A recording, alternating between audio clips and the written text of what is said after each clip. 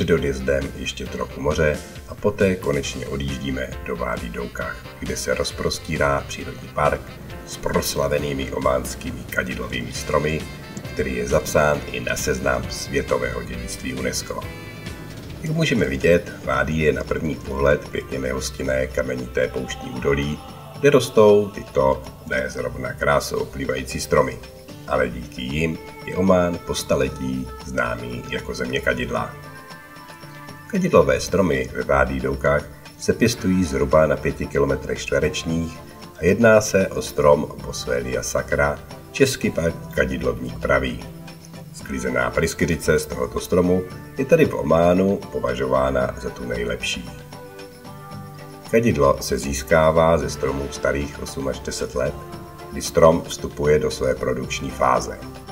V dubnu pak začíná sezóna výroba kadidla. To tak, že se kůra stromu nařezává a ze stromu začne vytékat bílá pryskyřice.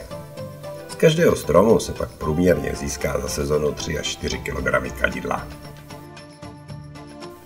Až si prohlédneme kadidlovníkový sad, ještě se projedeme po Doukách. A jak je vidět, je to opravdu velmi krásné místo.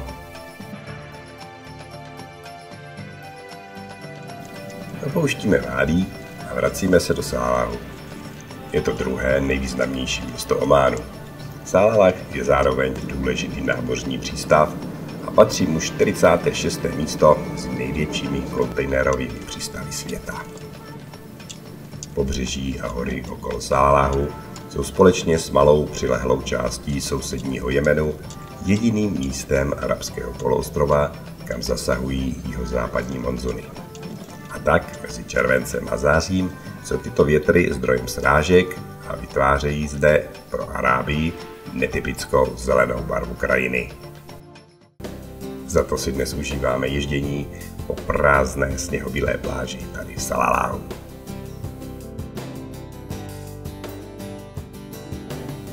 Samozřejmě musíme navštívit místní souk Al-Háfa. Tady konečně nakoupíme i nějaké to kadidlo, které si chceme přivést domů.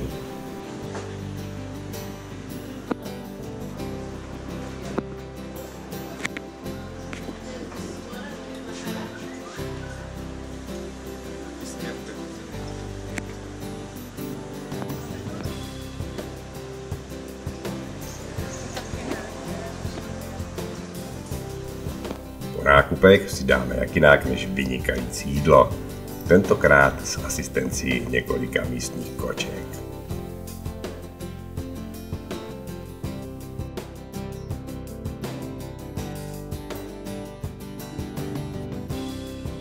Dalším historickým místem, které navštěvujeme, je archeologický park al což je další dávné přístavní město Zafar. Zafar je předchůdce dnešního města Salalách a zároveň je podle tohoto města pojmenována celá provincie Dafar. Historie města se začala psát 2000 let před naším letopočtem. Během pozdní doby bronzové to již bylo prosperující město a největšího rozkvětu dosáhlo v 8. až 16. století našeho letopočtu. Možná i díky zániku města Korrory. Nejdůležitějším vývozním artiklem města Zafar bylo právě kadidlo. Jeho produkce směřovala především do Afriky, Indie a Číny.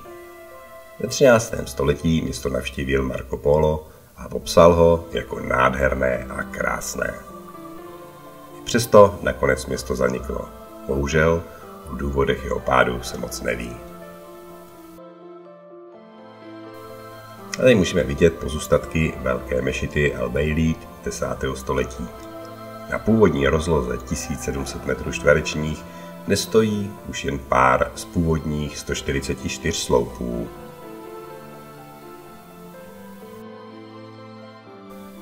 Archeologické práce na dnešních ruinách započaly v roce 1952. Další větší výkopové práce pak přišly v roce 1977. Tady zříceniny městských hradeb Tyské hradby zde sloužily nejen pro obranu města, ale i jako ochrana před sezónními dešti.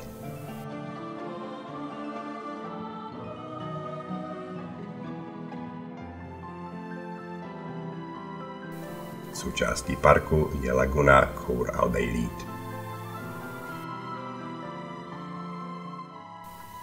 Muzeum země kadidla je jediným muzeem Salalahu a jsou zde vystaveny nalezené artefakty z nalezišť al a Korrory.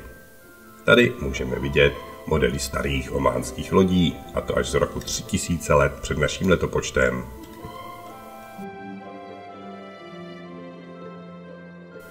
Archeologické naleziště je v noci krásně nasvíceno.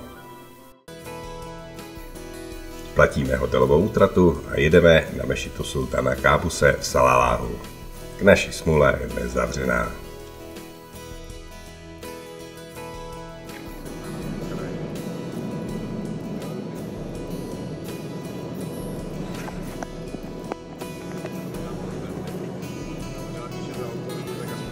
A zase jeden velbloud promenádující se po silnici. Dnes jedeme až k jemenské hranici na Marných Cave. Tato jeskyně není klasickou jeskyní, ale toto místo je to nazývané a to nebudeme řešit. Po touto jeskyní je pak další turistické místo Low Horse.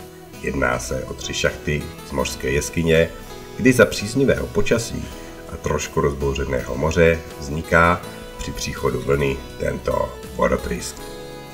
Prý v určitých případech může dosáhnout výšky až 28 metrů.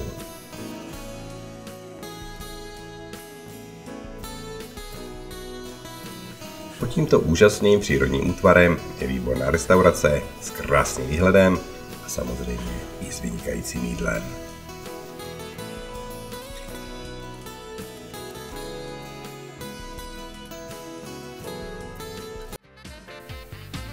Na cestě zpět zastavujeme na známé ománské pláži Almosajo. Je to nejen oblíbené turistické místo, ale je vyhledávaným místem místních obyvatel kteří zde pořádají pikniky. No a už nám zbývá jen návrat do Saláhu a zítra opouštíme Omán.